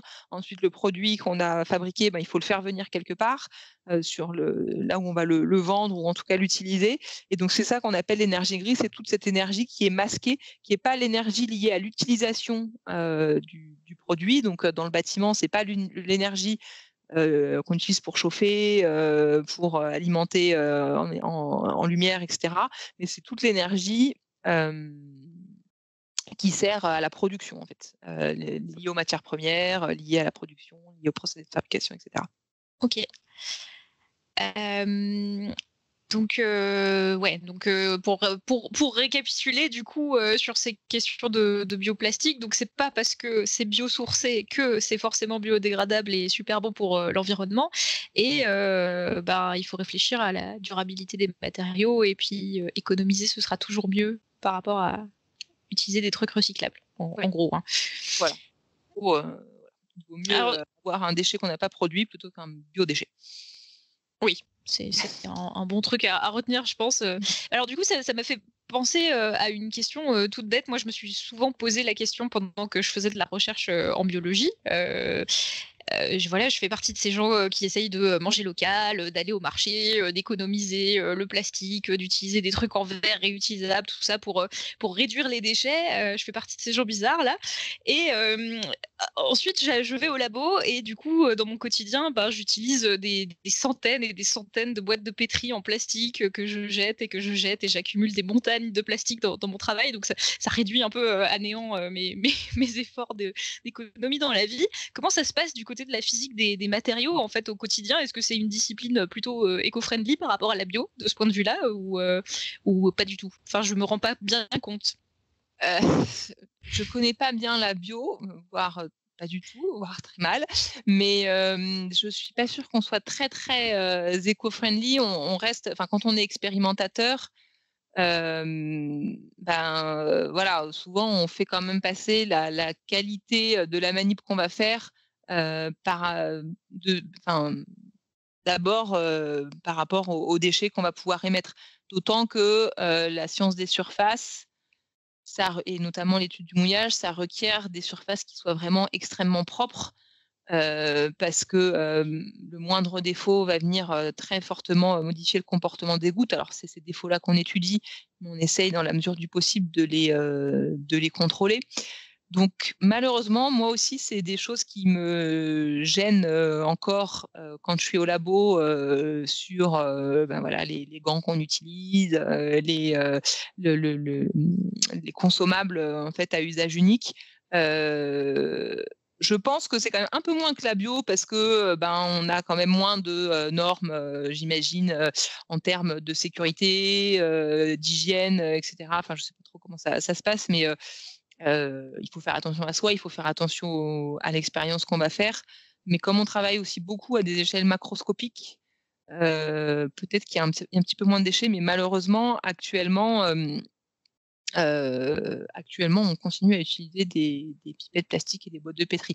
Après, dans les labos, il y a clairement, enfin, vous en avez peut-être déjà parlé dans le, dans, le post, dans le podcast, mais il y a clairement des mouvements qui sont en train de se mettre en place, notamment le, groupe de recherche de labo 1.5. Je ne sais pas si vous avez déjà des gens de, ces, initiatives-là, mais c'est des, groupements de, chercheurs qui essayent de réfléchir à l'impact environnementale de la recherche euh, et qui ont développé des outils euh, qui s'appellent, je crois, GES 1.5, euh, qui sont des outils qui permettent à des laboratoires de calculer leur empreinte carbone. Et en fait, on se rend compte que que ben c'est l'utilisation de consommables.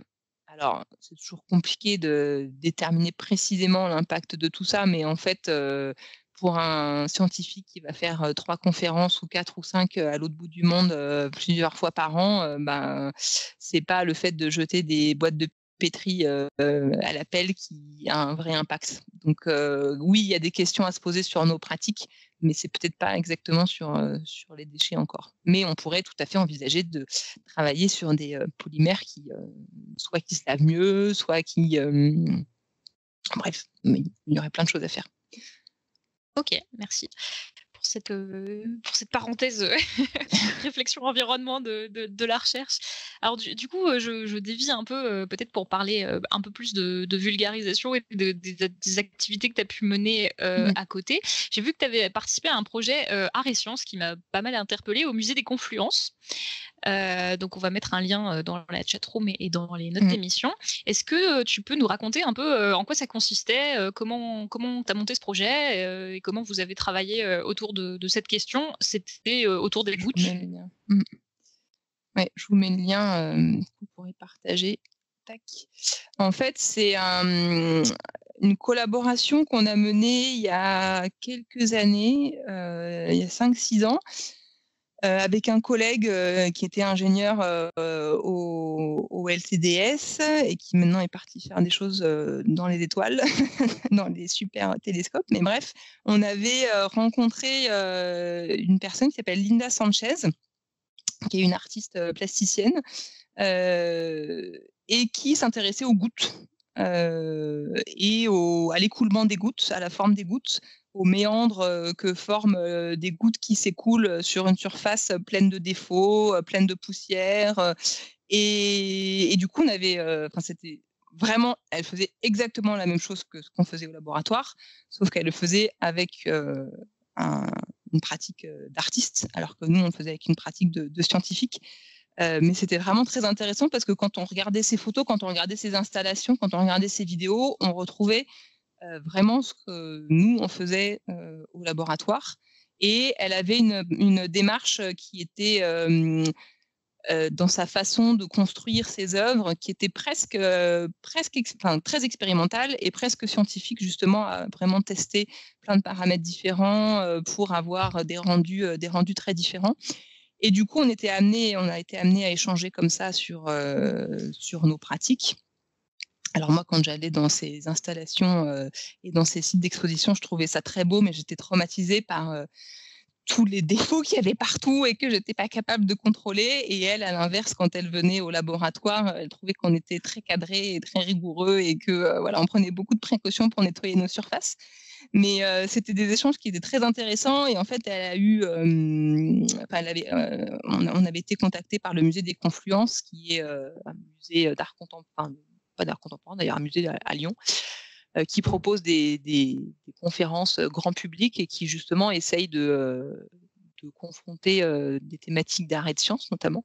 Et donc on avait, on avait présenté nos, travaux en parallèle sur l'étude des gouttes. Et on avait ensuite travaillé, elle, elle s'intéressait notamment à l'écoulement d'une goutte sur un. Donc, elle, prenait un disque, un très grand disque de, plexiglas, presque un mètre de diamètre, et puis elle le faisait tourner sur un axe et elle filmait l'écoulement, donc de très près, l'écoulement d'une goutte sur ce disque qui tourne. Alors, c'est pas très facile à raconter euh, uniquement avec la voix, mais euh, ça donnait des choses euh, très très jolies. Et puis elle avait une caméra au-dessus de son disque qui tournait. Et ce qui était très intéressant, c'est que comme elle s'était mise en hauteur sur un château d'eau pour avoir, le plus de ciel possible, on voyait les reflets des nuages, on voyait tout un tas de reflets dans, dans ces gouttes-là. C'était vraiment très joli. et elle cherchait ben, à avoir quelque chose qui tourne pour que ça goutte, donc c'était réalimenté, elle rajoutait de l'eau régulièrement, et faire en sorte que sa goutte s'écoule le plus longtemps possible. et ça avait donné une œuvre qui s'appelait 11 752 mètres et des poussières, qui est la longueur parcourue par la goutte dans son, dans son film. Et voilà, on avait travaillé aussi à essayer de lui développer un petit système qui permettait non plus de faire tourner le, plateau à la main, mais de capter la goutte et puis d'ajuster la vitesse du plateau pour que ça s'écoule tout le temps. Mais en tout cas, c'était une expérience vraiment intéressante parce que c'était vraiment drôle, enfin je ne sais pas si c'est vraiment le terme, mais de voir comme on avait tout à fait le même sujet d'étude, mais avec des vues complètement différentes et on avait, bah, voilà, on pourrait mettre nos, le mouillage, ça passe beaucoup par le visuel. Hein, on ne peut pas vraiment mesurer des forces avec un capteur de force sur une goutte. Enfin, on peut, mais c'est pas forcément ce qu'on fait. On le passe beaucoup par l'image et par des caméras rapides, etc. Et on voyait vraiment exactement les mêmes choses avec des vues et des, approches antinomiques, on va dire. C'était une jolie collaboration. Ah, du coup, un des auditeurs euh, dans la chatroom nous dit que regarder les gouttes, euh, lui, ça le fascine et que euh, c'est vraiment impressionnant les trajets que ça peut emprunter. Et il demande mmh. si justement il y a des règles à ces trajets qui se forment avec les gouttes d'eau. Est-ce qu'il y a eu une explication scientifique au fait qu'une goutte emprunte tel trajet plutôt qu'un autre sur une surface? Oui, il y, a, plusieurs règles. En fait, la goutte qui, la goutte qui s'écoule, on a parlé au tout début, on a parlé alors ça remonte loin dans le podcast, mais d'hystérèse d'angle de contact. Donc la différence entre l'angle, quand une goutte glisse sur une surface, c'est la différence entre l'angle le plus grand à l'avant et l'angle le plus petit à l'arrière. Et cette hystérèse, elle caractérise l'adhérence de, la goutte sur la surface et elle vient des défauts qui sont présents sur la surface. Si une goutte, une surface n'a aucun défaut, si elle est parfaitement lisse, à l'échelle vraiment à l'échelle de l'angstrom, donc vraiment à l'échelle très très petite, s'il n'y a aucune, aucun défaut chimique, aucun défaut topographique, la goutte elle glisse toute seule naturellement avec un angle très très faible. En réalité, aucune surface n'est comme ça. Il y a des défauts et ces défauts-là, ils vont accrocher le contour de la ligne, de la, de la goutte, qu'on appelle la ligne de contact. Ils vont accrocher ces défauts vont accrocher la ligne de contact et bloquer son, déplacement. plus il va y avoir des défauts et plus la ligne va être accrochée et moins elle va avoir tendance à passer là. Et puis ce qui se passe aussi, donc ça, ça va régir en partie le déplacement de la goutte, la présence de, défauts ou non. Et puis ce qui va régir aussi ce, déplacement, c'est que ben, quand la goutte s'écoule, elle va laisser derrière elle un film d'eau. Et donc ça va changer aussi la chimie de, la surface. c'est pour ça qu'après, quand on regarde son pare-brise, par exemple, si une goutte a commencé à couler, et eh ben, les gouttes suivantes, elles vont prendre le même chemin parce qu'en fait, elles vont préférer couler sur de, l'eau, sur un film d'eau, que sur la surface à côté. Ouais. Et Joanne, tu voulais rajouter quelque chose, non? Euh, non, non, c'était juste pour dire que spécifiquement, enfin, l'auditeur parlait des, traînées sur les pare-brises en fait quand les voitures vont très vite, de voir les gouttes qui se qui défilent le long de la voiture.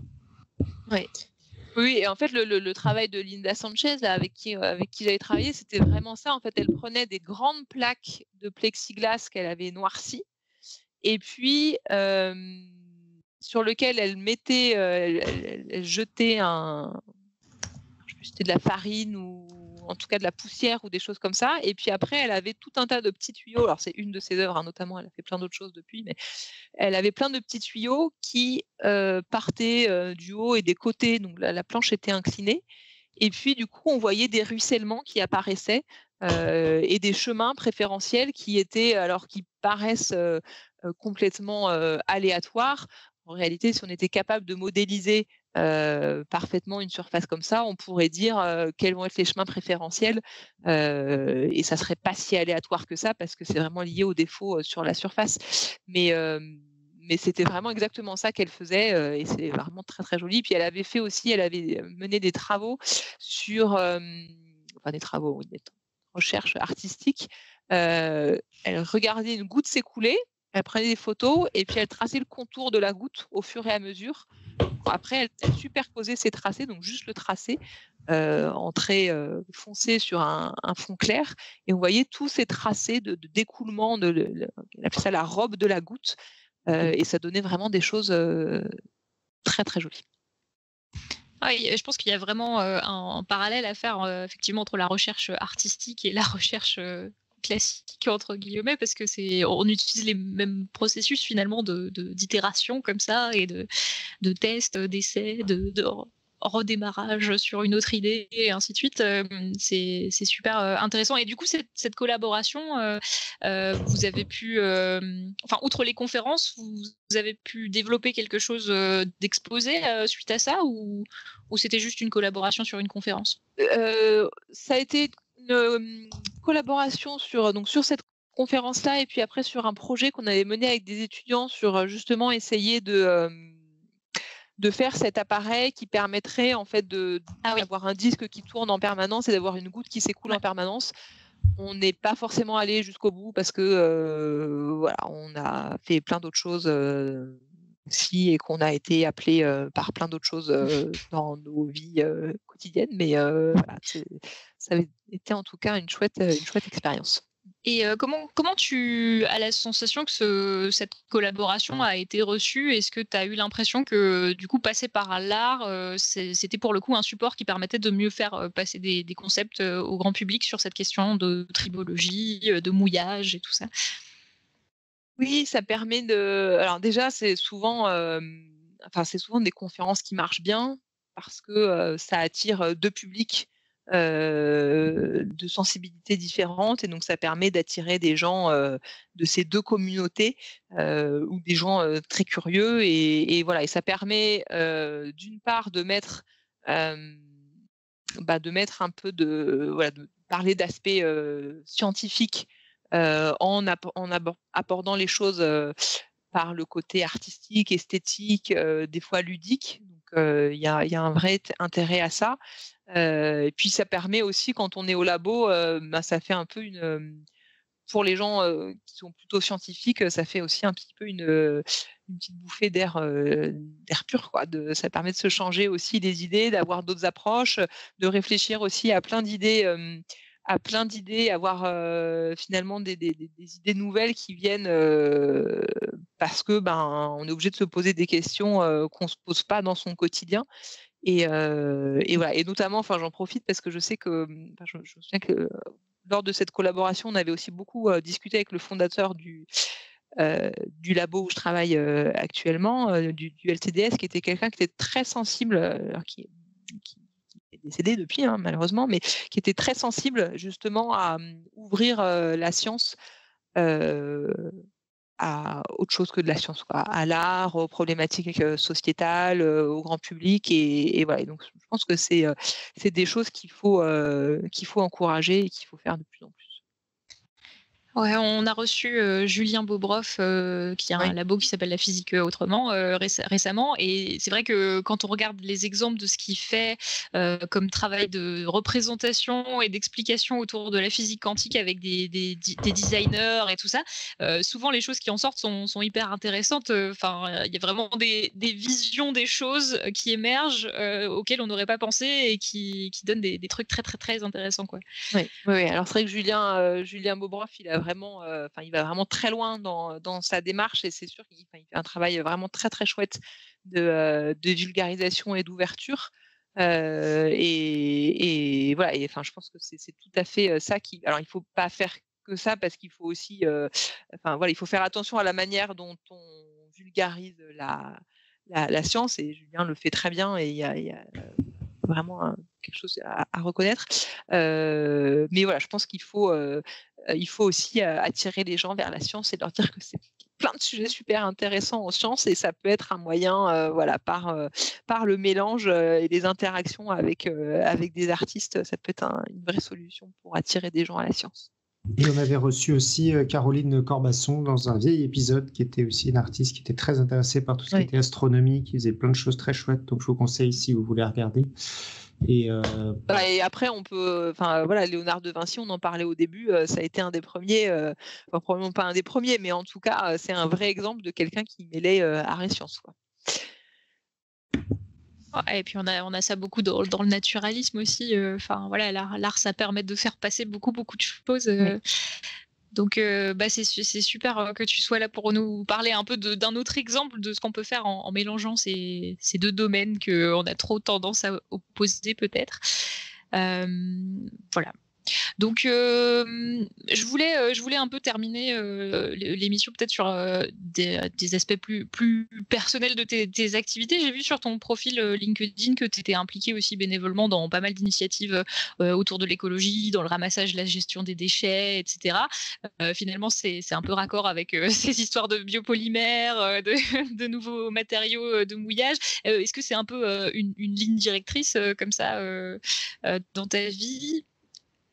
Oui, c'est des sujets qui, qui m'intéressent particulièrement, qui m'intéressent beaucoup. Alors, oui, j'avais participé, alors j'en profite pour faire un peu de, un peu de pub parce que c'était une chouette initiative à un jeu qui s'appelle Ma petite planète. Je ne sais pas si certains parmi vous connaissent, mais qui est un jeu dans lequel on se lance des défis un peu écolo, on va dire, ou en tout cas pour changer ses, ses habitudes de vie. Et donc, voilà, ça avait été une super expérience dans laquelle on avait notamment ramassé des déchets pour nettoyer des, lieux publics.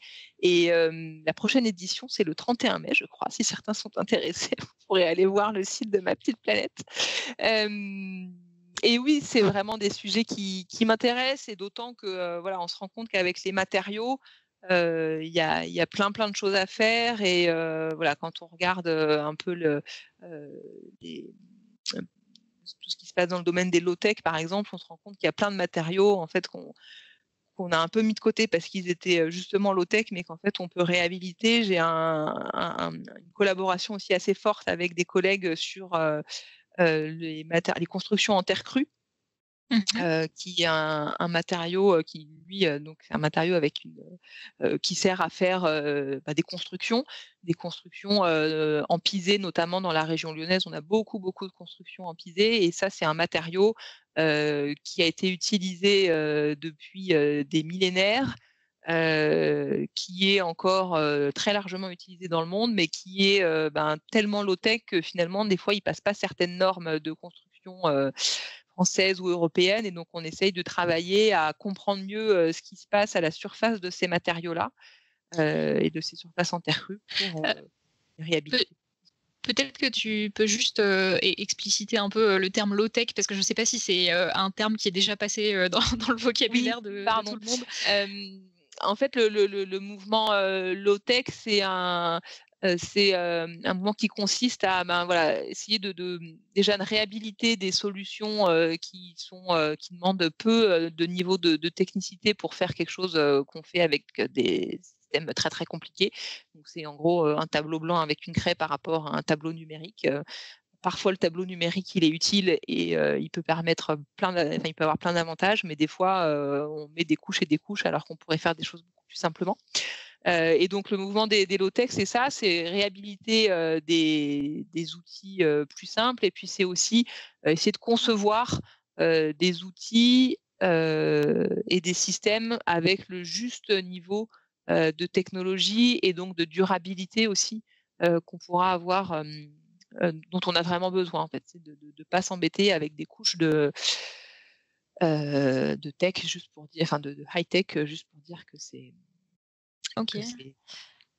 Alors, bah, j'écoutais une, une, émission enfin, sur France Inter, je crois, là, récemment, ça, ça, me fait repenser à ça, où il parlait justement de la présence des matériaux un peu low-tech, comme ça, dans, dans les plans d'urbanisme et dans les nouveaux plans d'architecture. il disait que c'était pas du tout encore intégré, mais est-ce que toi, du coup, en enseignant à des futurs ingénieurs, tout ça, est-ce que, est que tu sens un peu une transition ou une, volonté de prendre en compte ces questions-là dans, des, dans des constructions et des, des projets quoi? Oui, oui, il y a, y a sur. Alors moi, je travaille. Ce que je connais vraiment le, le mieux, c'est c'est la terre crue. Euh, qui est un, matériau euh, qui a plein plein d'intérêts en termes de construction et il y a vraiment de plus en plus de euh, en tout cas de labos qui travaillent à comprendre ce matériau-là, à l'améliorer, à lui permettre ben, de répondre à des normes de, construction européennes, justement pour pouvoir les alors soit réhabiliter des constructions en terre qui existent déjà, soit au contraire le proposer comme matériau de, construction, alors soit en matériaux seuls, soit dans des constructions hybrides, enfin pas hybrides, mais avec plusieurs, types de matériaux. Il y a des exemples de, villes pas expérimentales, mais en tout cas sur lesquelles il y a beaucoup de, travaux qui sont faits dans la région lyonnaise, dans l'Est lyonnais, il y a plein de choses qui sont faites là-dessus du coup, c'est encourageant. Euh, on espère que dans, dans, le futur, la physique des matériaux, ça résoudra euh, aussi tous ces problèmes-là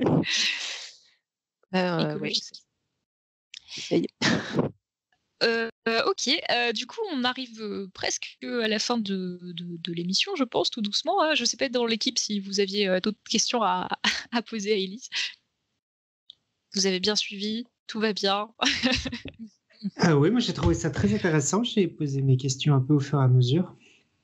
Euh, du coup, euh, pas d'autres questions pour le moment. Bah, du coup, on a, on a, euh, on a pris l'habitude maintenant de poser deux questions de fin en s'inspirant de, du, du, podcast Scepticisme scientifique. La première, c'est quelle est la question qu'on pose tout le temps et à laquelle tu t'es un peu lassé de répondre? Alors, je pense qu'il y en a une, je ne peux pas y couper, mais ça, voilà, je suis un peu lassée de répondre. C'est quoi la tribologie? Mais en même temps, c'est un mot qui est tellement peu courant. Moi, je l'utilise au quotidien, mais qui est tellement peu courant que je comprends qu'on ait besoin de le définir quand on, voilà, quand on rencontre quelqu'un et qu'on lui dit oui, je travaille dans un laboratoire de tribologie. voilà, ils ont, les gens ouvrent les yeux, mais qu'est-ce que c'est que ça? Mais bon, voilà, à la fin, Désolée. Voilà, mais ça fait partie aussi du métier de, vulgarisateur et de, voilà, de, pouvoir parler de tout ça. Il faut beaucoup répéter quand on enseigne et qu'on transmet. C'est ça. Et euh, bah, à l'inverse, quelle est la question qu'on ne te pose jamais et à laquelle tu aimerais bien répondre quelque part? Alors il y en a, il y en a plein, mais la question qu'on me pose pas trop parce que pour l'instant c'est des travaux qui n'ont pas encore complètement abouti, mais c'est pourquoi le chiffon il fait du bruit quand on lave ses vitres? Parce que c'est des, questions super jolies qui mènent, qui mêlent bah, du mouillage, du frottement, de la vibroacoustique et on fait ça avec des, des, techniques expérimentales qui sont en même temps très low tech et en même temps très joli. Et voilà, donc j'espère qu'on arrivera à mener ces travaux euh, un peu plus loin et qu'un jour je pourrai vraiment répondre à cette question, même si on a des éléments de réponse pour l'instant. C'est des éléments de réponse qui sont un peu secrets parce que du coup, tu, non, non, non. vraiment hypé là. La problématique derrière tout ça, c'est qu'en fait, quand on a un chiffon, euh, on met du spray sur euh, sa vitre, on a plein de petites gouttes. Le chiffon, euh, généralement, il fait plein de plis soit des croplis qu'on fait naturellement, soit voilà, il a, a plein de, enfin, en tout cas de, de, qui se forment. Et en fait, quand on appuie dessus, le fait qu'il y ait de l'eau fait que on va être dans un système, le chiffon va accrocher, décrocher, accrocher, décrocher, accrocher, décrocher. Quand on va le frotter sur la vitre, il va y avoir des moments où il va être complètement il va adhérer complètement à la vitre et puis des moments où il va se mettre à glisser. Et ça, ça crée des instabilités qui euh, font que les fibres, euh, que les, plis du chiffon se mettent à vibrer.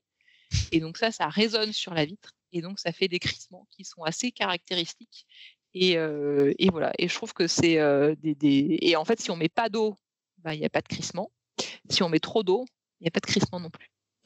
Euh, et voilà. Et donc, euh, donc on a des, on a un sujet qu'on essaye de, mais forcément, ça intéresse pas beaucoup de gens. Enfin, voilà, il n'y a pas beaucoup, a beaucoup de, thésards qui, veulent frotter des vitres? Oui, oui. Bah, il n'y a pas beaucoup de gens qui ont envie de nous, nous, financer une thèse, mais on a eu quelques stagiaires à qui on a fait frotter des vitres. Et on met une caméra devant tout ça, une caméra rapide, et on essaye de regarder à très haute vitesse euh, comment se comporte le le chiffon et enfin plus précisément comment se là où est le point de contact maximal, donc là où vraiment on appuie le plus sur la vitre, et puis essayer de suivre ça, essayer de suivre ça pour, pour ben, comprendre comment se défait ce contact, c'est comment est-ce qu'il évolue au fur et à mesure.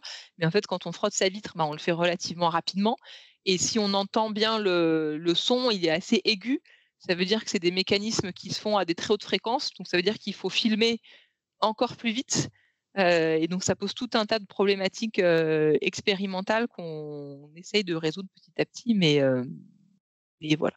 Ben c'est vite comme ça maintenant. On a plutôt maintenant des, solutions avec des balais, des trucs. enfin bref, ah non, moi, je, lave, encore mes, mes, vitres à l'ancienne avec un chiffon. Mais alors, est-ce que tu as des conseils sur euh, le, type de chiffon à utiliser? Alors oui, moi j'utilisais du sopalin parce que ma grand-mère m'avait dit qu'il fallait toujours prendre du sopalin parce que ça faisait moins de traces sur les vitres. maintenant, j'ai arrêté de le faire au sopalin parce que je me sens pas bien pour la planète. Ah, on m'a dit du papier journal, moi, à l'époque. journal aussi, on disait. Ah, est-ce qu'on nous conseille pas d'utiliser le truc euh, qu'on a le plus sous la main finalement? je, sais pas. Alors après, il y a, les conseils pour euh, que ça nettoie bien et les conseils pour que ça fasse pas trop de bruit. Je ne sais pas encore. Euh, voilà, on ne sait pas encore si euh, les deux vont dans le même sens ou pas. Mais peut-être un jour on saura. Bah, je, te, je, te, propose de revenir dans le podcast pour nous. voilà. le mystère du chiffon. Ouais. Exactement. Carrément. Euh, bah, très bien, bah, merci beaucoup. Du coup, on, arrive à la fin de l'émission. Alors, Clément, est-ce que tu veux nous rappeler le quiz du moment avant qu'on termine complètement l'émission avec la citation?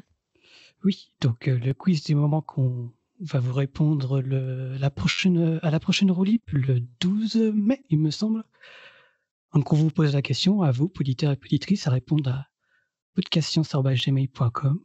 Il faut orienter son lit au nord pour bien dormir. Info ou un tox Donc, à répondre. Donc on va dire que c'est la tête au nord. D'accord Oui, oui, du coup, la tête au nord, euh, il faut qu'on mette euh, cette contrainte, sinon on peut... on peut, changer l'orientation nord-sud.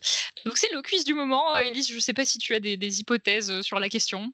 Alors moi j'ai un lit avec la tête au nord et je dors très très bien, mais je dors très très bien partout. Alors bon, je suis pas sûre que ce soit vraiment. Euh, ah, bah, j'ai aussi la tête au nord. Et ben vous savez quoi? Cette nuit, je vais peut-être essayer de changer. Je vais faire demi-tour dans mon lit. Je vais voir si ça change quelque chose. Pour vous, public. on, invite tous les auditeurs et les auditrices à changer le sens de leur lit ou alors à changer le sens de leur corps sur leur lit euh, dans, les prochaines semaines pour, euh, pour nous envoyer la réponse à la question. Et voilà, donc bah, pour je, fais une, petite digression. c'est dommage, Elise, t'es arrivé un peu tard, mais on avait un quiz il n'y a pas si longtemps pour savoir si arroser les plantes en, plein, en plein soleil, ça pouvait les faire brûler. Alors du coup, on a un peu parlé de gouttes aussi. voilà, il y a plus des questions d'optique, je pense, que, vraiment des questions de mouillage, mais, mais ouais, ouais. voilà, ça, ça, serait tombé parfaitement, mmh. mais malheureusement un peu tard. Mmh. donc, bah, pour finir, est-ce que tu as choisi une citation de fin d'émission? Oui, j'y ai beaucoup réfléchi. Et vu qu'on a beaucoup parlé de surface quand même aujourd'hui, je me suis dit que j'allais vous, citer cette phrase qu'on retrouve dans un bouquin qui traite de sciences des surfaces sur deux, qui est une phrase de, de Pauli, qui était un physicien, physicien de la mécanique quantique du début du XXe siècle, qui a dit un jour euh, Dieu a créé le volume, le diable la surface. Et voilà, c'est une blague de trimologue qu'on se cite généralement, régulièrement les uns les autres.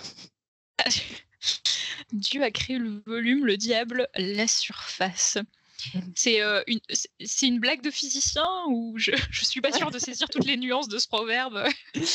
En fait, euh, ça, dit que bah, finalement, comprendre un matériau dans son volume, bah, bon, il y a quelques petites problématiques de, euh, de mécanique des matériaux, d'élasticité, etc. Mais qu'en fait, la surface, c'est terrible parce qu'il s'y passe tellement de choses et il y a tellement d'interactions, tellement de phénomènes, tellement de choses qui peuvent arriver que c'est terrible à comprendre. Et qu'en même temps, sans surface, on n'aurait pas grand-chose. Belle citation. Euh, du coup, on la rajoutera dans la note d'émission pour que tout le monde puisse euh, méditer là-dessus. Et euh, bah, du coup, je vais conclure l'émission. c'est fini pour ce petit voyage dans la tribologie. désormais, les frottements, le mouillage et le monde des gouttes devraient vous paraître nettement moins mystérieux. Et en prime, vous savez même pourquoi votre chiffon fait du bruit. Merci beaucoup, Élise, d'avoir, si je peux me permettre l'expression, mouillé le maillot pour euh, qu'on comprenne un peu mieux la physique des matériaux. Et on se retrouve la semaine prochaine en attendant que servir la science soit votre joie.